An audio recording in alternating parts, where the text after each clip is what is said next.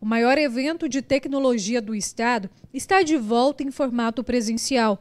Será realizado no Shopping Passeio das Águas entre os dias 15 e 19 de junho. É algo que brilha os olhos de todas as pessoas que também hoje têm um interesse em aprender e cada vez mais avançar nessa área da tecnologia e da inovação.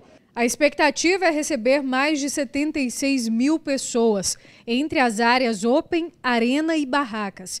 A programação inclui palestras, workshops, arena de drones e outras várias programações. Este ano, entre as novidades, está a participação de alunos da rede estadual de ensino. Ela vai poder também participar é, desses eventos, como, por exemplo, a guerra de robôs, que, que tem, tem uma parte de rock de robôs ele vai poder experimentar isso.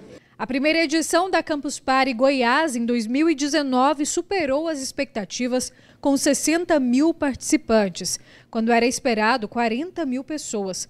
Neste ano, a estrutura conta com 1.500 barracas para uma imersão em tecnologia. Goiás, através da Universidade Federal, tem o único curso que existe hoje de inteligência artificial no Brasil e nós sentíamos a necessidade de trazer expertos em inteligência artificial. Teremos oportunidade de trazer conteúdos que nunca tiveram aqui em Goiás.